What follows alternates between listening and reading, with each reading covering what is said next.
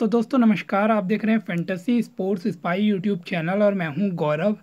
आज हम जो चैनल में टर्किश लीग का एक मैच कवर करने वाले हैं, वो रहेगा Denizlispor versus Gaziantep के बीच। इस मुकाबले का करते हैं डिटेल एनालिसिस दोस्तों, ये मैच काफ़ी लोगों को मतलब ये दोनों टीम्स के बारे में नॉलेज नहीं होगी, क्योंकि ये टर्किश जो लीग है, उसकी लोअर लेवल की टीम्स है लेवल टू से प्रमोशन करके आई है। और टर्किश लीग जो है वो हमारे इंडिया में टेलीकास्ट भी नहीं होती है। इसलिए इस मैच की नॉलेज काफ़ी कम लोगों को होगी तो हम इसका थोड़ा फ़ायदा उठा सकते हैं। इसके बाद दोस्तों आप देख रहे हैं, दो या तीन मैचेस और हैं। इन मैचेस का वीडियो तो नहीं आएगा, लेकिन ये सभी मैचेस भी हमारे टेलीग्राम चैनल में कवर होने वाले हैं, जिसका लिंक डिस्क्रिप्शन में ज़रूर जुड़ जाइए। अब चलते हैं इस मैच का, करते हैं डिटेल एनालिसिस तो दोस्तों यहाँ पे आप देखेंगे कि डेनिज लिस्पोर और गेजियान टैप के बीच जो ये मैच खेला जाएगा, ये डेनिज लिस्पोर के होम ग्राउंड में आज रात 11:30 पीएम पे खेला जाएगा। यानी अभी जब से मैं वीडियो रिकॉर्ड कर रहा हूँ, उसके एक घंटे बाद लगभग लाइनअप आ जाएगी। तो ये टर्किस लीग का टेबल है। अब टर्किस लीग में फ़िलहाल दोस्तों जो टीम्स होती है, वो होती है एटीन और ये दोनों टीम अभी मिड टेबल में है। यहाँ पे देखेंगे आप, गजियान टैप की जो टीम है टेंथ पोजीशन में टर्किस लीग में। थर्टी फाइव पॉइंट इनके फोर्टी वन गोल इन्होंने स्कोर किए, जो कि एक अच्छे गोल इन्होंने काफ़ी स्कोर किए। लेकिन इन्होंने गोल कंसीड में आप देखेंगे तो फोर्टी सिक्स गोल कंसीड कर दिए तो इससे आप उम्मीद लगा सकते हैं कि जो इनका डिफेंस है, वो थोड़ा वीक है। कंपेयर टू डेनिल स्पोर जो यहाँ पे ट्वेल्थ पोजीशन में, इन्होंने गोल कम मारे हैं दोस्तों ट्वेंटी नाइन गोल ही मारे, लेकिन इन्होंने कम गोल भी कंसीड किया सिर्फ़ फोर्टी टू ही कंसीड किया है गैजियान टैप के कंपेरिजन में। तो दोनों टीम्स ने अभी तक कुछ ज़्यादा खास परफॉर्मेंस टर्किस लीग में नहीं किया है। तो अब हम यहाँ पे रिसेंट कुछ मैचेस के रिज़ल्ट देखते हैं। पहले डेनिल लिस्पोर के। एक ज़ीरो से सिवास पोर से हारते ये कोरोना ब्रेक के वापसी के बाद के मैचेस हैं। उसके बाद ये पाँच एक से बेसिक तास एक बहुत बड़ा क्लब उनसे हार गए थे। फिर इन्होंने दो दो ड्रॉ रिजस फोर से खेला था। यानी कि लास्ट तीन मैचेस में आप देखेंगे तो डेनिल स्पोर टीम दो हारी है और एक मैच ड्रॉ करा है। यानी कि एक भी उनकी जीत नहीं है। और रिसेंट फॉर्म देखेंगे तो हम डेनिल स्पोर की ज़्यादा अच्छी नहीं चल रही है। अब हम बात करते हैं गजियान टैप की रिसेंट फॉर्म की। तो गजियान टैप ने कोरोना ब्रेक के बाद से तीन मैचेस जो खेले हैं, उसमें एक एक ड्रॉ खेला है। उसके बाद तीन तीन ड्रॉ गलाट्रासे जैसी बड़ी टीम के अगेंस्ट तीन गोल मारना बहुत बड़ी बात है। तीन तीन जो ड्रॉ खेला है उसके बाद फिर से जो अपना आखिरी मैच खेला था, वो भी एक एंटल स्पोर के अगेंस्ट ड्रॉ ही खेला था। यानी कि गजियान टैप ने कोरोना ब्रेक से वापसी के बाद तीन ड्रॉ खेले इसमें ना तो जीते, ना हारे, लेकिन तीनों मैच में इनकी एक चीज़ कॉमन है, इन्होंने एक एक गोल स्कोर किया है। तो गजियान टैप की भी फॉर्म रिसेंट फॉर्म ज़्यादा खास नहीं है, लेकिन डेनिल लिस्पोर के कंपैरिजन में इनकी फॉर्म अच्छी है। अब हम देखते हैं इन दोनों टीमों के बीच जो हेड टू हेड मैच खेला गया था, इस सीज़न में इससे पहले, वो डेनिल लिस्पोर ने गजियान टैप को दो एक से हरा के जीता था। अब दोस्तों, आप हमारे टेलीग्राम चैनल से नहीं जुड़े तो ज़रूर जुड़िए। At the rate fantasy sports spy आप सर्च मारेंगे तो आपको हमारा टेलीग्राम चैनल मिलेगा लगभग one zero five seven subscriber या one zero six zero subscriber के लगभग आपको वहाँ मिलने वाले हैं। ज़रूर जुड़िए। मोस्टली मैचेस की G L S L team आपको वहीं मिलती है। और और लाइनअप आने के बाद इस मैच की भी आठ ग्रैंड लीग और एक फाइनल स्मॉल लीग टीम मैं उसी टेलीग्राम चैनल में पोस्ट करने वाला हूँ। ज़रूर जुड़िए, नहीं तो आपको लिंक डिस्क्रिप्शन में मिल जाएगा, आप वहाँ भी जुड़ सकते हैं। इसके बाद जो एक चार्टन एथलेटिक मिलवॉल का मैच है चैंपियनशिप का, उसकी भी जी टीम आएगी और एथलेटिको मैड्रिड का जो मैच है लेट नाइट, उसकी फाइनल एसएल टीम यही टेलीग्राम चैनल में पोस्ट होगी। लगभग सारे मैचेस हम कवर करते हैं। अब दोस्तों प्रोवेबल लाइनअप देखते हैं। आज हम और दिनों के जैसा कंपैरिजन नहीं करेंगे एनालिसिस नहीं करेंगे। आज थोड़ा अलग करेंगे, क्योंकि ये दोनों टीम के प्लेयर के बारे में बहुत कम बंदों को पता है, इसलिए मैंने यहाँ पे डायरेक्ट ही समझाने के लिए यहाँ पे गोल स्कोरिंग स्टैट्स भी उनके आगे लिख दिए हैं। तो आसर, डेनियल जब पहले बात करते हैं, डेनिल लिस्पोर की। तो डेनिल लिस्पोर के यहाँ पे गोलकीपर होने वाले ए सर, अब ये प्लेयर ठीक ठाक सेव्स कर सकते हैं। अब दोस्तों, जो डेनिल लिस्पोर की टीम है, ये फोर फोर टू की फॉर्मेशन से खेलती है। या इसे कहिए आप फोर थ्री थ्री भी कह सकते हैं, क्योंकि तीन फॉरवर्ड खेलते हैं। तो फोर थ्री थ्री की फॉर्मेशन से डेनिल स्पोर की टीम खेलती है।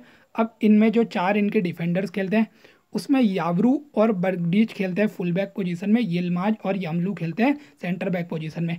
अब यहाँ पे एम्बाम्बा मुराविस की एशियाटी खेलते हैं सेंट्रल मिडफील्ड में और यहाँ पे तीन इनके फॉरवर्ड खेलते हैं साठ को स्टूपिनान और रोडलेगा। अब मैं इनके आपको असिस्ट या गोल स्कोरिंग स्टेट दिखा के प्लेयर्स के बारे में बताता हूँ। तो याबरू जो इनके राइट बैक हैं दोस्तों, इनके इस सीज़न अभी तक तीन असिस्ट हैं तो इनका असिस्ट पोटेंशियल काफ़ी अच्छा है। उसके बाद यलमा जो एक एवरेज प्लेयर है, ज़्यादा स्टेट नहीं है हाँ ये पासिस ज़रूर बनाएँगे। लेकिन यामलू, जो इनके दूसरे सेंटर बैक है, उनके तीन गोल है तो अगर आपको डिफेंस में कोई अच्छा प्लेयर चूज़ करना है तो यामलू एक अच्छी पिक साबित हो सकते हैं डेनिल स्पोर्ट टीम से।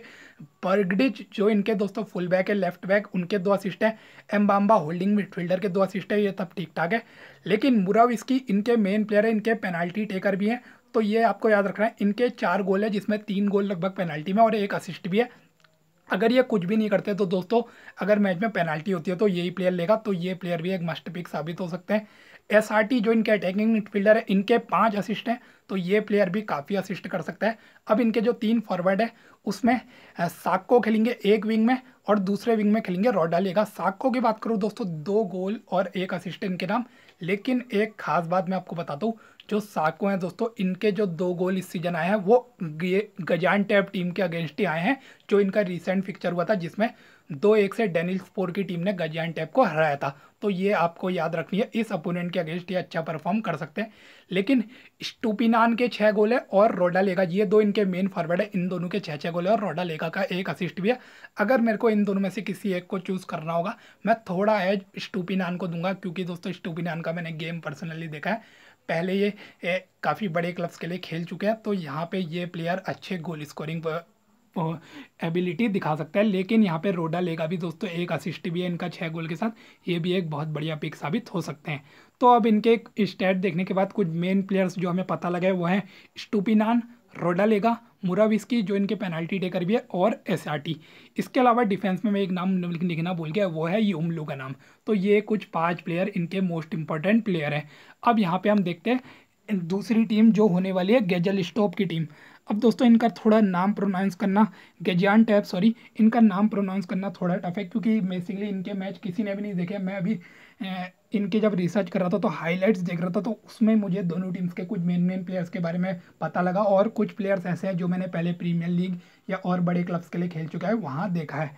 तो यहाँ पे आप देखते हैं गजियन टैप के तो गुवैंग इनके गोलकीपर होने वाले हैं। ठीक ठाक, ये सेव कर सकते हैं। अब ये खेलती है three in the back formation में, यानी कि थ्री फाइव टू जिसमें इनके तीन डिफेंडर्स खेलते हैं। दो विंग बैक्स हैं, तीन सेंट्रल मिडफील्डर्स हैं और दो फॉरवर्ड है।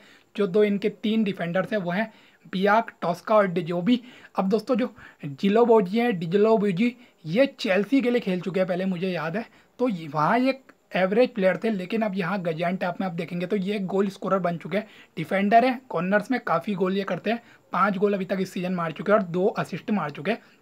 तो क्लियरली इन दोनों टीम्स के मिला के ये बेस्ट डिफेंडर है तो ये प्लेयर मस्ट मस्ट पिक रहने वाला है। बाकी बी का भी एक गोल है, लेकिन टॉस का अभी तक कुछ भी नहीं कर पाए पूरे सीज़न। अब इनके जो दो फुल बैक्स खेलते हैं उसमें सेलान जिनका एक गोल और तीन असिस्ट है तो सिलान राइट विंग बैक पोजीशन में खेलेंगे या राइट बैक में तो ये भी एक बहुत इंपॉर्टेंट प्लेयर हुए। और मोराइस जो लेफ़्ट बैक पोजीशन में खेलेंगे, इनका भी एक असिस्ट है तो मोराइस भी ठीक ठाक प्लेयर है। अब सोसा खेलेंगे होल्डिंग मिडफील्ड में, और उनके साथ दो अटैकिंग मिडफील्डर्स खेलेंगे। सोसा का एक गोल है, मैं बता दूँ, ये लेकिन होल्डिंग मिडफील्डर है, ज़्यादा इनका काम पासिस बनाने का होगा। अब जो दो अटैकिंग मिडफील्डर है, दोनों मस्ट मस्ट गए, दो पहले प्लेयर हैं टूसामी जिनके छः गोल और चार असिस्ट हैं तो ये प्लेयर भी एक बहुत बढ़िया चॉइस हो सकता है। इवन हमें कैप्टन वाइस कैप्टनसी की भी ऑफ़र चॉइस ये हो सकता है टूसामी लेकिन एक बहुत बड़े प्लेयर के बारे में बताऊँगा। वो है मैगजिम एलेक्स मैगजिम दोस्तों बेसिकली बुंदस लीगा में ये प्लेयर खेल चुका है, मुझे याद है। लेकिन अभी यहाँ पे इनके स्टेट्स इसलिए कम दिखेंगे क्योंकि ये जनवरी में आए हैं। चार गोल मार चुके हैं एक असिस्ट दे चुके हैं और बहुत बड़े प्लेयर है, बहुत बड़े प्लेयर मेरे हिसाब से इस टीम का सबसे बड़े प्लेयर यही है, सबसे नामी प्लेयर यही है और इनके अब पेनल्टी टेकर भी है। जब से ये आए हैं, उससे पहले कोयाडे या टोसामी पेनाल्टी लेते थे टूमासी, लेकिन अब जब से मैगजिम आए हैं मैगजिम ही पेनाल्टी ले रहे हैं और क्लियरली इस टीम का सेकंड बेस्ट या बेस्ट प्लेयर मैगजिम ही है। तो ये आपको याद रखना है। अब जो दो इनके फॉरवर्ड खेलेंगे, वो खेलेंगे ओजेर और कायोडे। अब दोस्तों ओजेयर के तो तीन गोल और एक असिस्ट है ठीक ठाक स्टेट है, लेकिन कायोडे इनके मेन प्लेयर है मैगजिम के साथ। कायोडे के आप देखेंगे, दस गोल और छः असिस्ट क्लियरली हमारे कैप्टनसी की भी चॉइस हो सकते हैं। और साथ में जब मैगजिम नहीं आते, उनसे पहले ये पेनाल्टी ले रहे थे तो अभी भी मैं श्योर नहीं हूँ पेनाल्टी हुई तो मैगजिम या कायोडो में से कोई एक लेने वाला है। तो ये मैंने आपको दोनों टीम्स के प्लेयर के बारे में बता दिया। अब ये देखिए मेन प्लेयर्स कुछ डिजोबी जो इनके सेंटर बैक है डिलोबोजी नाम है इनका एक्चुअली और मैगजिम कायोडे और टूमासी तो ये इनका कुछ एनालिसिस निकला है दोनों टीम्स का, जो अभी तक मैंने इनके हाईलाइट्स देखी या जो भी इनके स्टेट देखे, और कुछ प्लेयर्स के बारे में मुझे पता था, जैसे कि डिलो बोजी हो गए मैगजिम हो गए तो इन प्लेयर्स के नाम थोड़े मेरे को याद थे क्योंकि मैंने पहला इनका गेम देखा था। तो बाकी इन दोनों टीम्स के बारे में ज़्यादा कोई इतनी ही नॉलेज निकल पाई है। अब यहाँ पे प्रिडिक्शन की बात करूँ, दोस्तों पॉइंट्स टेबल देख के क्लियरली प्रिडिक्ट करना मुश्किल है। रीसेंट फॉर्म देख के भी मैं प्रिडिक्ट नहीं कर पा रहा हूँ तो मैं यहाँ पे सेफ़ जा रहा हूँ वन वन ड्रॉ के साथ। हालाँकि ज़ीरो ज़ीरो भी एक पॉसिबिलिटी है, क्योंकि दोनों टीम रफ खेल रही है। दोनों टीम्स के अच्छा परफॉर्मेंस नहीं कर पा रही है टर्किस लीग में।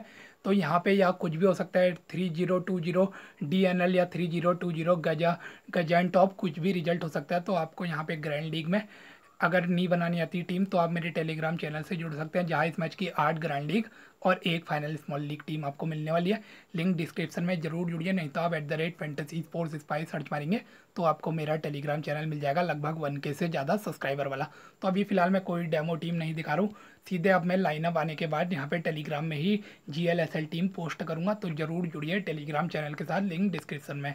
तो दोस्तों, ये था पूरा वीडियो मिलते हैं एक और वीडियो के साथ। जय हिंद, जय भारत।